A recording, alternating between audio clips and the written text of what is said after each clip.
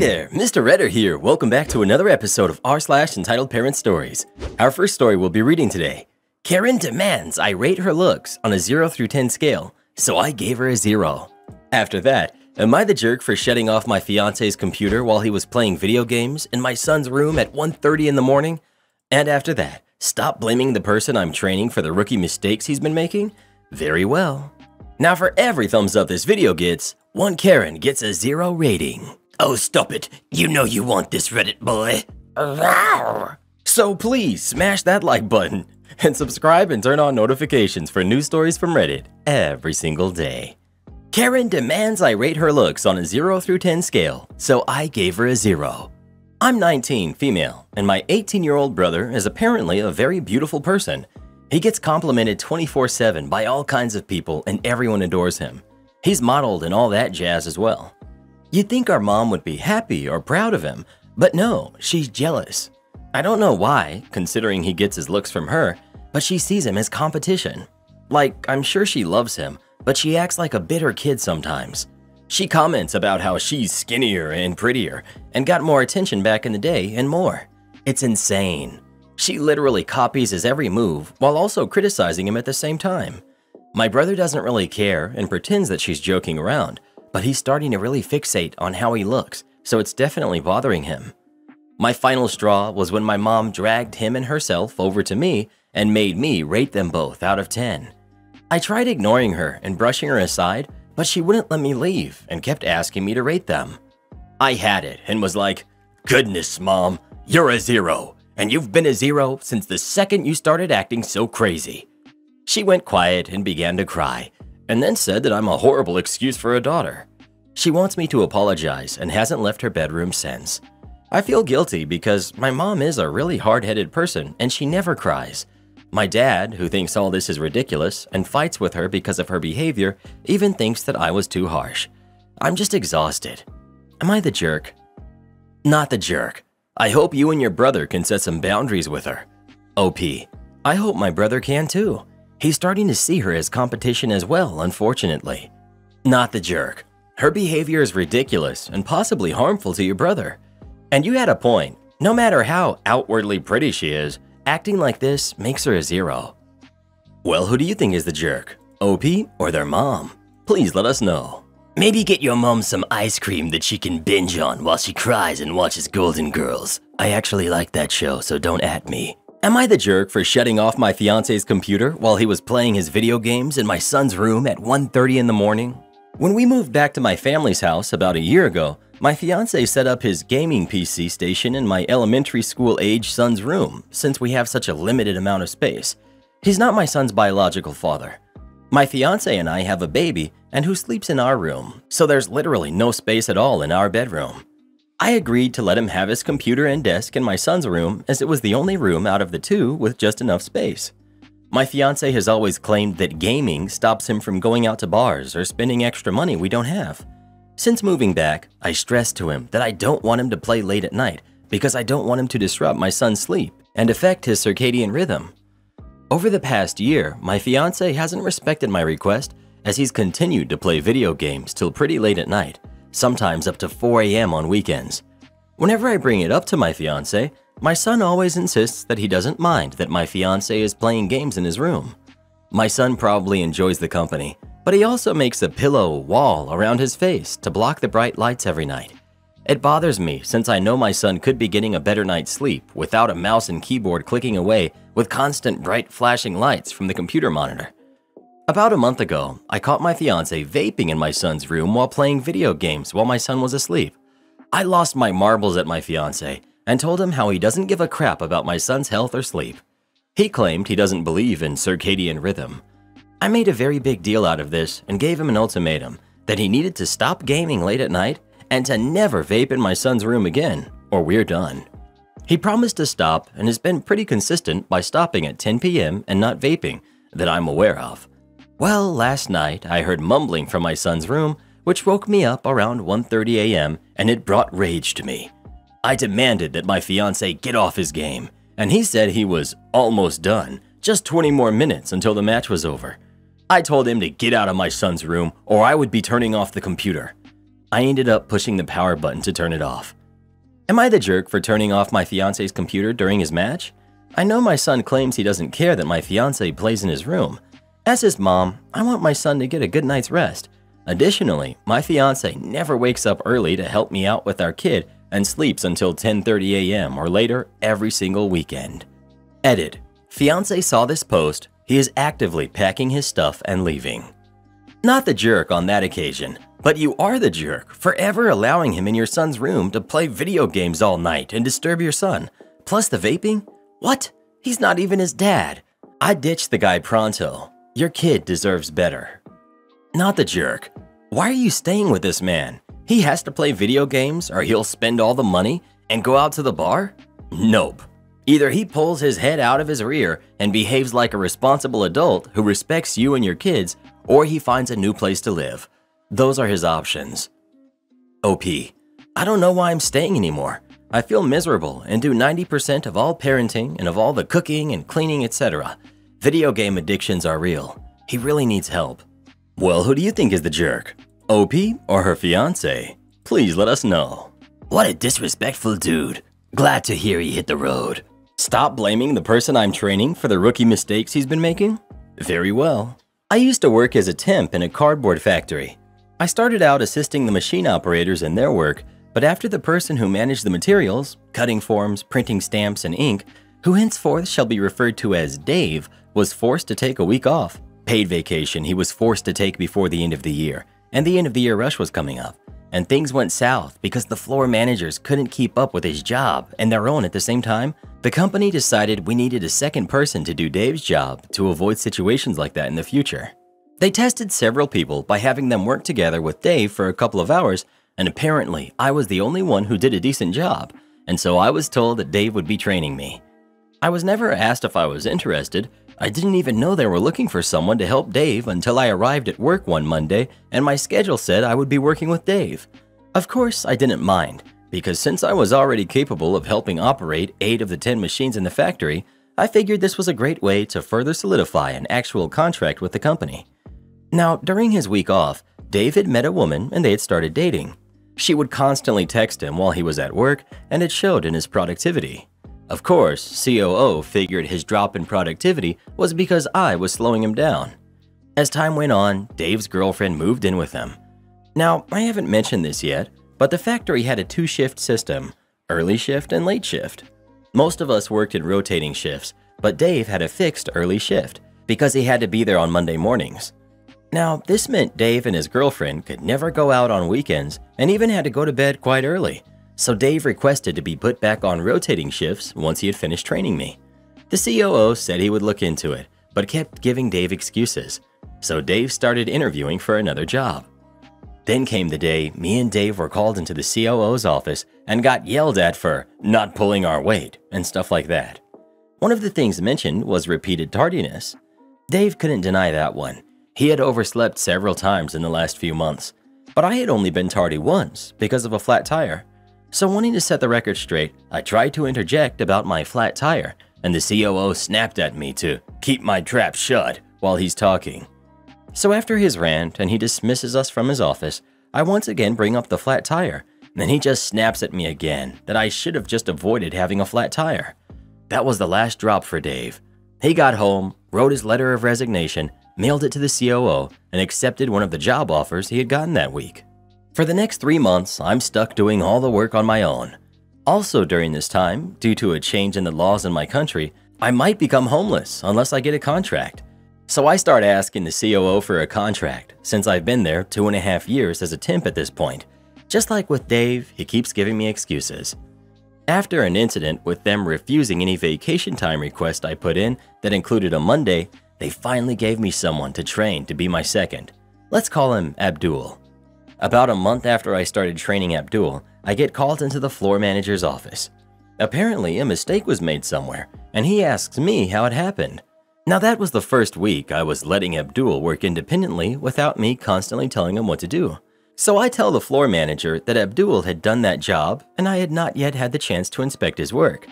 The manager grumbles but just dismisses me.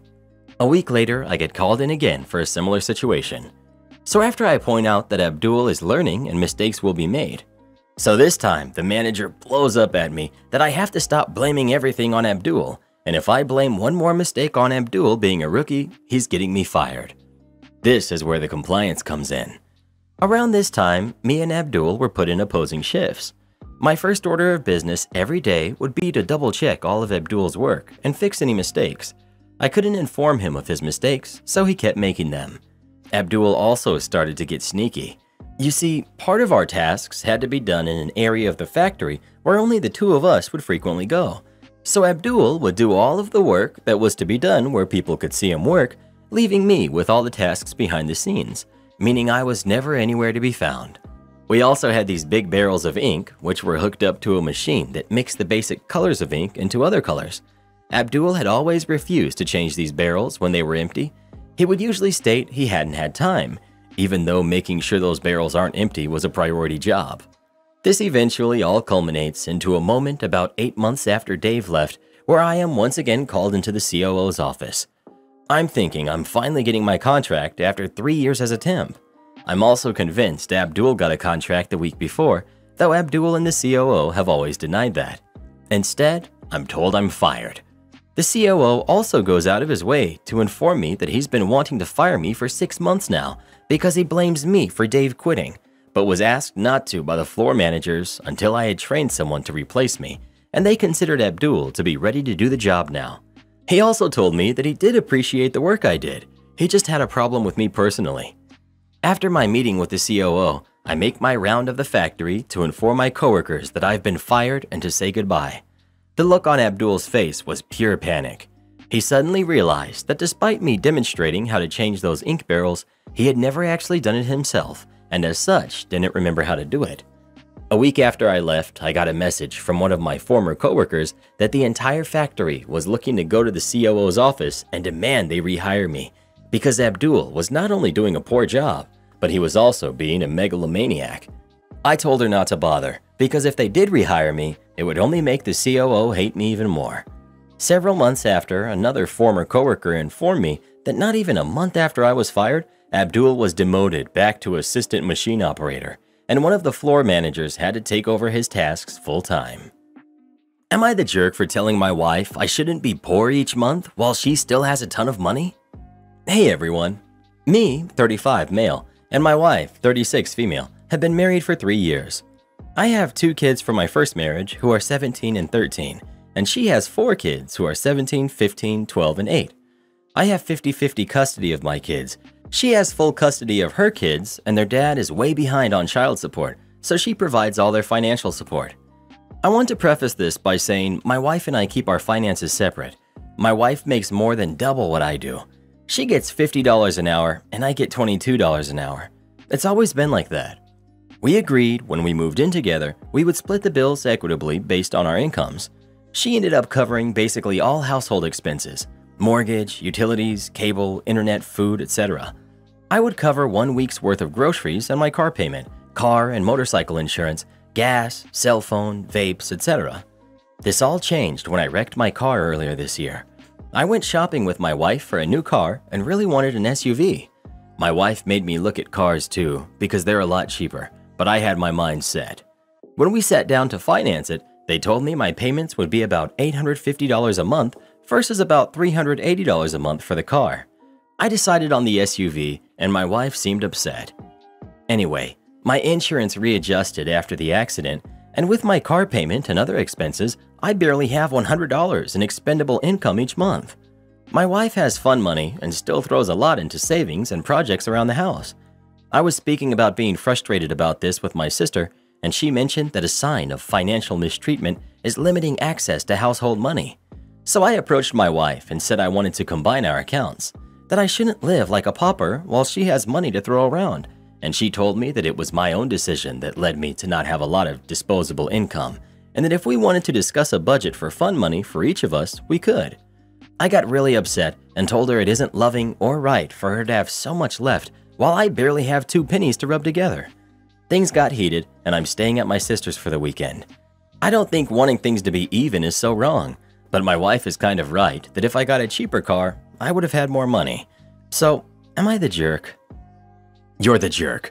Your income covers one week of food for your combined family of eight, and the rest goes to things just for you.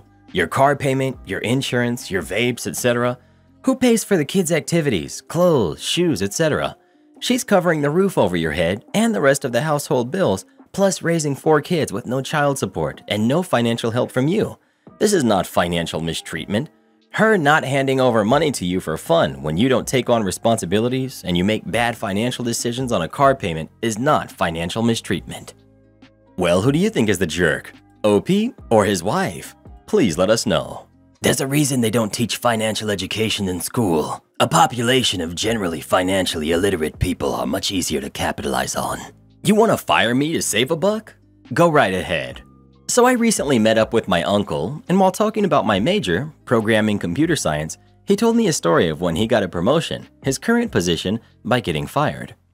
Several years ago, my uncle, Dan, had a jerk of a boss who would always flaunt his status of being a manager to the lower ranked employees and would also be critical of them for the smallest things, taking two or three minutes too long on breaks, talking to your coworker for even a second, or even taking a sip from your water bottle at your desk. My uncle and his coworkers hated this guy, but they loved the job, so they just put up with him for the time being. Uncle Dan told me it was so bad, nobody wanted to even interact with him outside of work, and he wasn't invited to any parties or get togethers either. One day, boss decides to save money for the company by firing Dan for poor performance, and tells them the reason why is because they can rehire for cheaper. Now, Dan is a calm and logical man, He's very skilled in programming and has years of experience under his belt by that point in his life, so he knows there would be loads of companies fighting for him. Dan didn't put up a fight about it and just cleared out his desk that day, and a month later, while looking for other jobs, he was called by boss telling him he can have his job back. And when Dan refused, because he had a few offers, boss revealed that he was in trouble for firing him with the president. Uncle Dan explained to me that he coded the system they used to distribute assignments and organize tasks, which earned him the president's respect for his skill and expertise. So when he found out he was replaced with someone who, as Dan put it, wouldn't know his backside from an array, he was understandably livid, especially since he didn't hear about it until just now. So boss was forced to offer Dan his position and a raise to convince him to come back, was demoted, and was even more ostracized for the way he looked down on people in the past. It was a funny story. He gets fired and then is given an even better position and pay because his boss was trying to save the company money. He still has that position today, and his pay has only gotten better due to his skills. But the boss couldn't stand being on the same level as the lesser employees he mocked, so he's not there anymore. Karen asked me to babysit for her today while I was working on a boat. Was on a client's boat to take measurements for a job they'd like me to do. The place they're docked is alongside a lovely sidewalk that's open to the public. I was on the front deck when I heard a family walk by.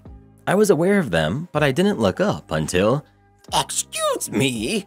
It spooked me, as they were so close, but I looked up. A mother and her kid were standing there on the sidewalk in front of the boat. Sorry, you snuck up on me. Can I help you? Sometimes people stop to ask me directions to a bathroom or are curious about what I'm doing, so randomly striking up a conversation isn't uncommon, and I'm happy to help and make a bit of conversation. Hey, can you watch my kid for a minute? No explanation, no greeting, nothing. I was stunned into silence for a second while my brain tried to process. The mother took this time to interject before I could reply. It's okay, she can just hang out on your boat with you. She what? Her kid looked to be around five or so. Before she could start walking toward the pier, I finally gained enough brain power to speak. Ah, no, sorry, this isn't even my boat. Oh, well, whose boat is it? Like it's relevant. This is my client's boat. Can she come on? Ma'am, I'm working, I said, raising my voice a bit, holding up a bunch of measuring tools. It's just for a minute, she urged. I was appalled. Sorry, no can do. I was about to say more, but she interrupted before I could continue. Well, can you get off the boat and watch her here then? I gave her another stunned look. I'm working, I said a bit slower, and I'm sure my boss wouldn't appreciate me watching a stranger's kid while I'm on the clock. Again, I was about to say more, but her kid was whining and pulling on her mother's hand. Fine, she snapped suddenly, taking her kid away up the steps. Not gonna lie, it was really odd and unnerving, and my heart was beating really fast. I'm legitimately shocked.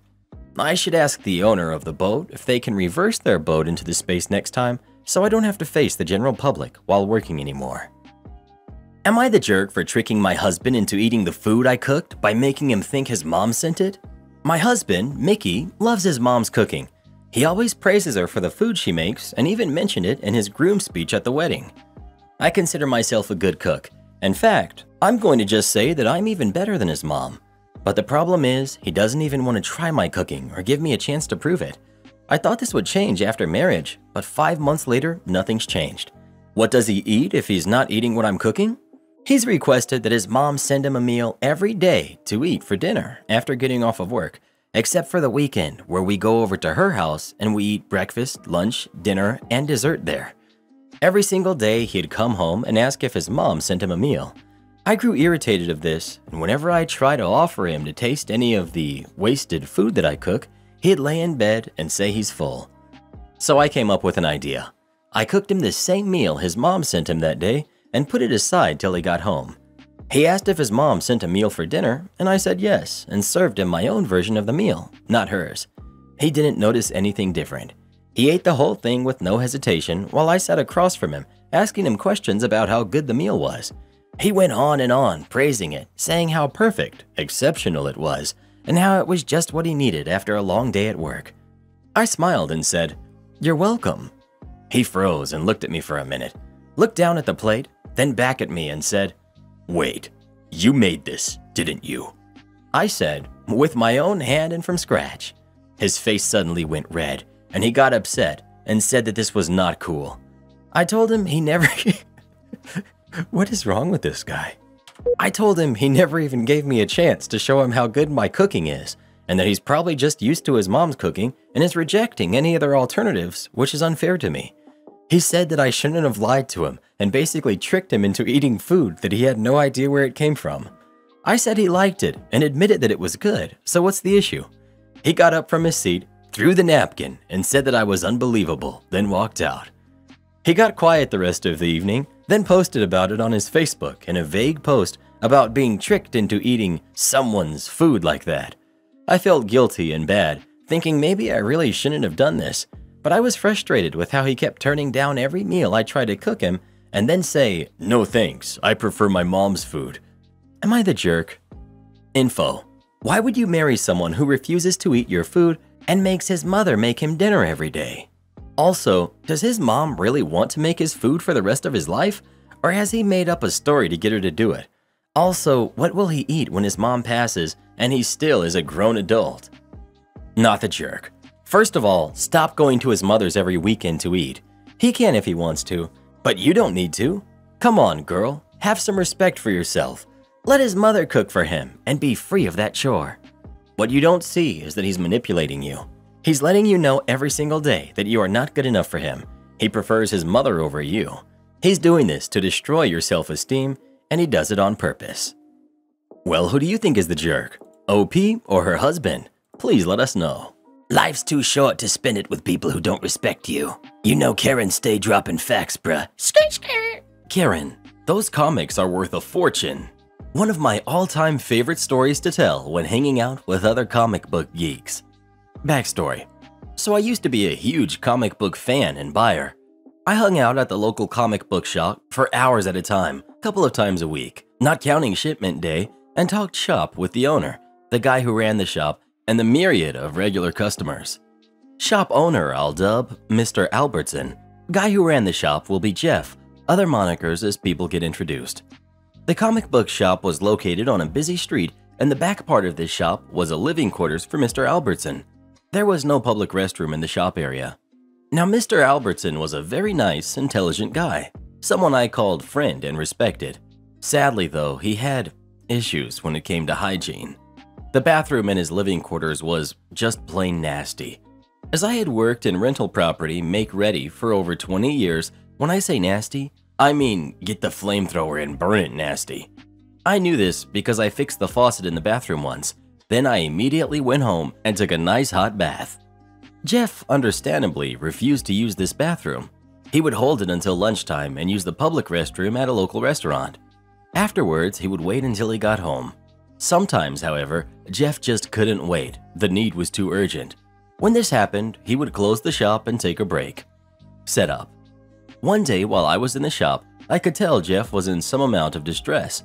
I asked him what was wrong, and he informed me that he really had to use the restroom, as something he ate was not agreeing with him.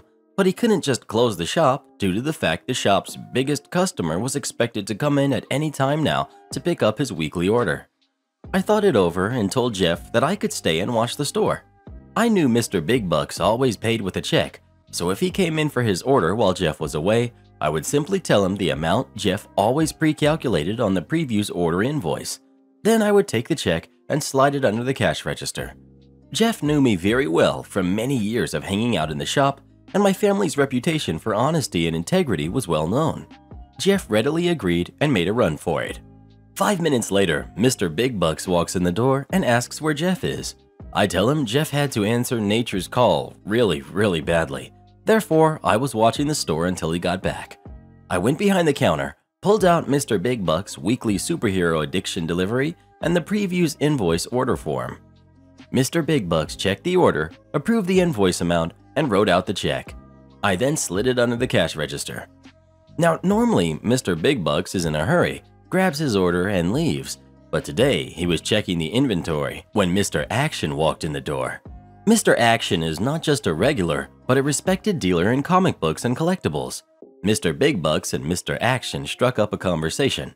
I just leaned against the counter and continued to read the latest issue of Amazing Spider-Man.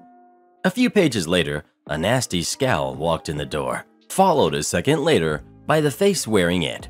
It was a 30-ish something woman, hair pulled back, tight in a pigtail, pink sweatshirt with pink across the chest. She was carrying a cardboard box that looked like it had been in a flood.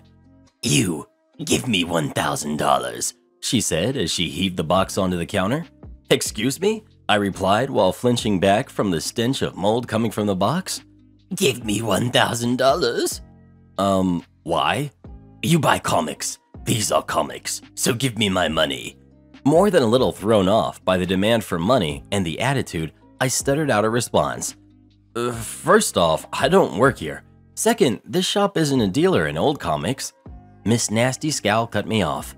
I know very well you work here. My boyfriend told me that the fat guy who works behind the counter would give me money for these old comics. He also told me not to let you cheat me.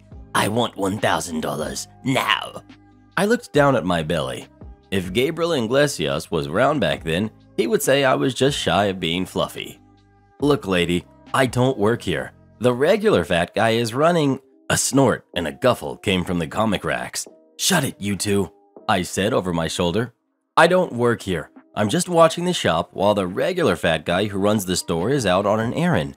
He'll be back soon. But even still, he doesn't buy old comics, I reiterated. Miss Nasty Scowl actually growled at me.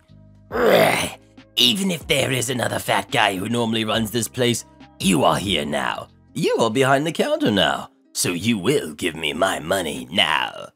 Mr. Action tried to say something, but he was cut off by Miss Nasty Scowl screaming, You shut up! I wasn't talking to you, you ugly old jerk. Well, I've been told I have the patience of a saint, but I got my limits. I looked at a visibly irritated Mr. Big Bucks and a now steaming mad Mr. Action. Suddenly, I had a thought.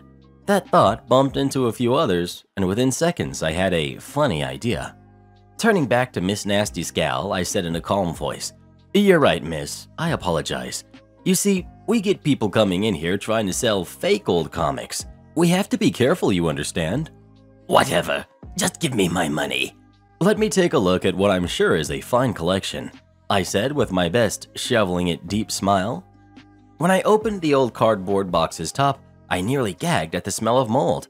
Inside was indeed comics. Comics that looked like they may have been stored in a cellar that flooded. They were covered in mold, sticking together, and just in completely rotten shape. After flipping through a few that were not stuck together, I let out a loud gasp of shock. My god, I yelled. Mr. Action, come here quick. Look what she has. I'm fine over here, he said while pinching his nose. No, look, I firmly said while turning my head and giving a conspirator's wink and smirk at Mr. Action. Curious as to what I was up to, Mr. Action followed my prompt and came behind the counter. to Miss Nasty Scowl. You're in luck today. This is Mr. Action. He's our local authority on comic book appraisals. From what I've only glanced at, this collection of yours is worth way more than a measly $1,000. I'd say it's worth $20,000 at least. Right, Mr. Action? Mr. Action has known me for many years. He was, in fact, one of my teachers in high school and had seen my sense of humor in action many times. He had no idea where I was going with this, but he knew it would go someplace ridiculously funny, for us at least. Good lord, these are Casper the Friendly Ghost comics, Richie Rich, and these, these are Archie comics, giving Miss Nasty Scowl his most eager expression. Do you have any idea how rare these comics are?